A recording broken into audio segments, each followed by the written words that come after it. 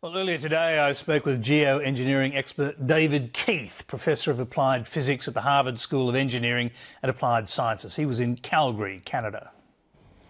David Keith, thanks for joining us. Great to be here. Now, scientists originally calculated that the major impact of, uh, of global warming would happen towards the end of this century. So, uh, geoengineering was considered to be something far off in the distant and, and really science fiction uh, for most people. Why the urgency now? Why has the debate changed? I think the debate's changed really because the sort of taboo that we wouldn't talk about it has been broken. So people have actually known you could do these things, for better or for worse, for, for decades, actually since the 60s. But people were sort of afraid to talk about them in polite company for fear that that just talking about it would let people off the hook so they wouldn't cut emissions. And that fear was broken a few years ago. And so now kind of all the research is pouring out really because because effectively had been suppressed, not by some you know terrible suppressor, but but by a, a fear of talking about it. So what do you think would actually drive uh, the world's superpowers or a collective of nations to decide to actually do this, to go ahead and begin the process of planning and preparing for a geoengineering project? Very, very hard to guess. I mean, a central thing to say about this is that technology is the easy part. The hard part is the politics, really deeply hard and almost unguessable. Uh, at this point, we have no regulatory structure whatsoever and no treaty structure, so it's really unclear what would, how such a thing would be controlled. Do you have any sort of idea at all what kind of time scale there might be before governments are forced to seriously consider this? Is it 10, 20, 30, 50 years? Well, forced is a very fuzzy word. So, a popular thing to say in this business is to say that we would do it in the case of a climate emergency. But that's kind of easy to say. In a case of emergency, we should do all sorts of wild things, but it's not clear what an emergency is. So, I'm a little sticky with the word forced. But I think it could happen anytime from a decade from now to many, many decades hence. The big question right now really is should we do research in the open atmosphere? Should we go outside of the laboratory and begin to actually tinker with the system and learn more about whether this will work or not? And I'm somebody who advocates that we do do such research. And one thing that research may show is that this doesn't work as well as we think. And my view is whether you're somebody who hopes this will work or hopes it doesn't, more knowledge is a good thing. So if you were given the go ahead to do research and the funds to do it, because I imagine it would be very expensive, what would you actually do? Uh, it's not very expensive, actually, to begin to do little in situ experiments. Uh, so I am working on one, and many other people are.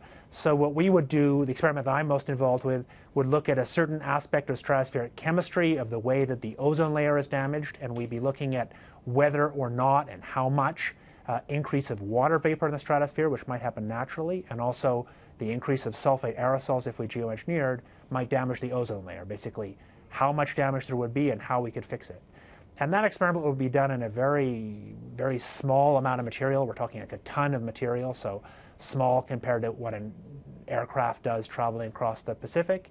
And the cost of it would be a few millions to five million kind of money, which on the scale of big atmospheric research projects is actually not that much. I mean, the total climate research budget is billion class. Is it clear uh, now, or is it becoming clearer that the best strategy, if you wanted to go to a global scale, would be literally flooding the stratosphere uh, with sulfate particles? I think the honest answer has to be that we don't know. That you need to do the research in order to have strong opinions about what's the right answer. I would say, you know, if you really put a gun to my head and said, what's the very most likely thing to work right now? That's probably it. And the reason is because it mimics what nature has done. So we have big volcanoes that put sulfur in the stratosphere, and we know something about the bad impacts of that, and we know something about what it does to cool the planet. And so it seems pretty likely that since we'd be putting in much less than nature puts in, at least for the first half century or more, uh, that we could actually do something and, and control the risks. Yeah, I, I guess you, you, mentioned volcanic activity, and uh, that's what scientists are basing, I suppose, their their knowledge on now. What we've seen from volcanic activity is, and you can go back to 91 and uh, Mount Pinatubo, which actually caused a, a, fairly sudden drop in global temperatures because it blanketed uh, the atmosphere in that way. But it also had evidently climate change affects itself, so there are clearly dangers here. For sure. There are a bunch of dangers. There are both the dangers of kind of side effects like ozone loss or uh, interfering with atmospheric chemistry in other ways. There's the basic fact that this is not a perfect compensation for CO2. So, for example, carbon dioxide makes the ocean more acidic, and doing these things to cool the planet will do nothing to correct that. So, in the end, we will have to cut emissions no matter what.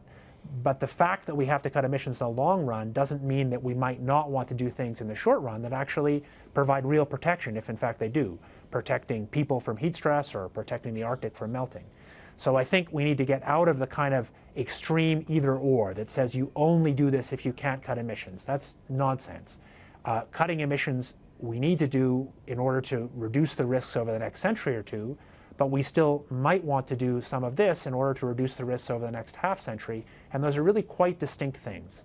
Let's talk about the risks of actually doing it uh, on a global scale, because you've been pretty frank about that. You've actually said you could easily imagine a chain of events that would extinguish life on Earth. Now, what would be that potential chain of events from using this kind of technology? Yeah, I probably got quoted a little out of context there. Um, I think there are science, sort of theoretically possible ways that could happen, but I don't think there's a socially plausible way it could happen. So you might, in principle, be able to put up enough reflective aerosols, probably not sulfates, actually. I think it won't work with sulfates, but some other engineered aerosol.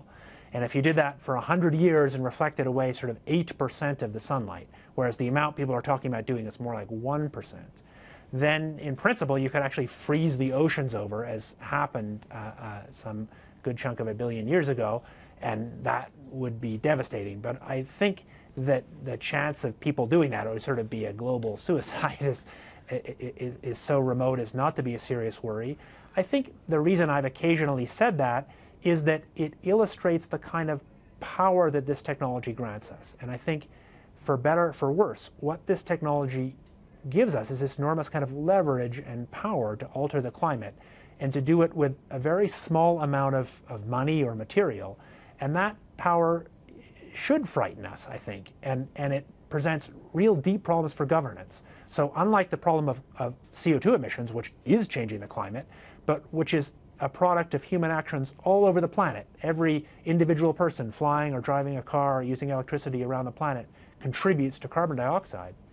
If you talk about putting sulfates or some other engineered particle in the stratosphere, the, the issue is that a very small number of people in principle could do it and have this kind of huge leverage to affect the whole climate in this profound way. And that's what raises the very hard challenge of governance. Yeah, is there a fear uh, raised by what you're saying that some country, a superpower, China, for example, has been suggested, could actually do something like this unilaterally uh, and there, thereby create conflict over the whole, whole idea of geoengineering?